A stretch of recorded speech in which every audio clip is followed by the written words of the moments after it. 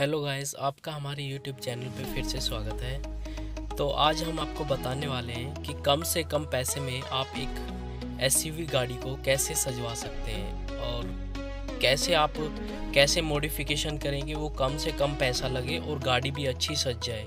क्योंकि आजकल की महँगाई को देखकर अगर आप नॉर्मल सी गाड़ी कोई सजवाते हैं तो उसमें लगभग पाँच से छः हज़ार रुपये मांग लेते हैं।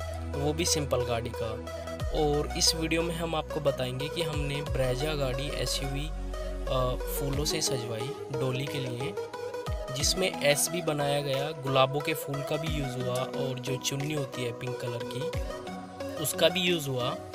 आप जैसा कि इस वीडियो में देख सकते हैं।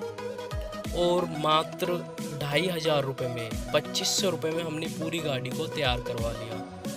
विद बुके वगैरह और आप देख सकते हैं, ये जिस, जितने भी इसके अंदर फूल लगे हुए हैं, आपको ऐसे लगेंगे जैसे कि वो ओरिजिनल है। आपको पता है जैसे कि गर्मी में क्या होता है कि अगर आप ओरिजिनल फूल लगवाते हैं तो वो कुछ ही टाइम चलते हैं। ज़्यादा से ज़्यादा आधा घंटा, एक घंटा उसके बाद वो ख़राब हो जाते हैं। तो हमने इस गाड़ी में प्लास्टिक के फूलों का यूज़ किया, जो प्लास्टिक के फूल मार्केट में अवेलेबल होते हैं। तो जिस भाई से हमने ये गाड़ी सजवाई, उसने पूरी गाड़ी को प्लास्टिक का, आप देख सकते हैं इस तरह से, प्लास्टिक के फूलों का यूज़ किया।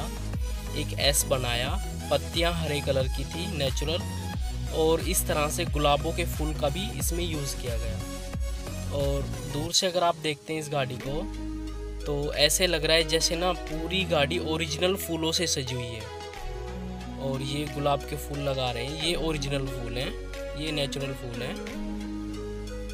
तो अगर आप भी इस तरह से कोई गाड़ी सजवाते हैं तो आप कोशिश कीजिए कि अगर आप नकली फूलों का यूज़ करते हैं, जो कि लॉन्ग टाइम चलते हैं, कम से कम छः से सात घंटे इन फूलों को, अब फूल हट जाएँ तभी कुछ होता है, वरना कुछ नहीं होता।